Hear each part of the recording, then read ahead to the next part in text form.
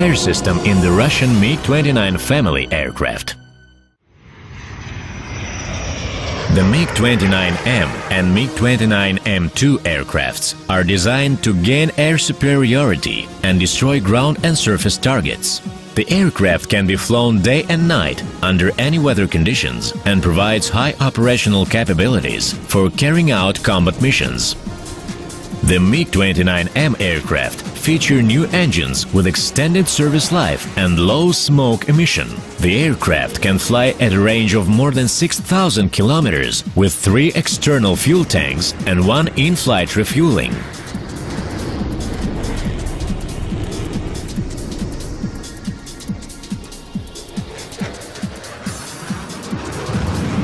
The avionics system is built around the onboard computer and radar system. The MiG-29M aircraft, with its well-proven radar system, has unique combat capabilities.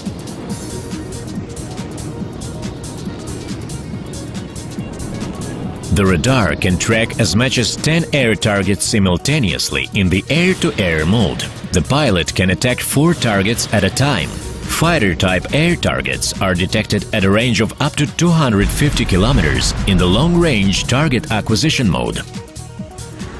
The high-resolution airborne radar system, operating in the air-ground mode, allows the pilot to distinguish small elements of ground targets. When engaging the target, the pilot can aim at its most vulnerable element.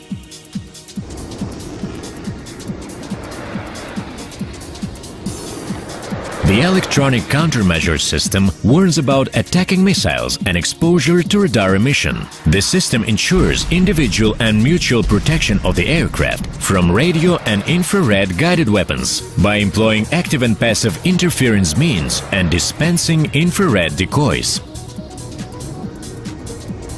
Modern air-to-surface weapons carried on the MiG-29M allow it to deliver strikes on enemy targets from standoff ranges without entering into the operational zone of enemy short-range air defense missile systems.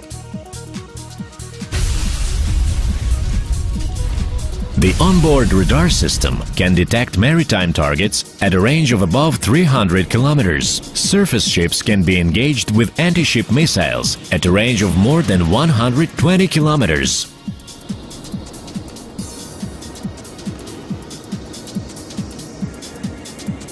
The MiG-29M and MiG-29M2 aircraft operational costs are much lower than those of similar class aircraft.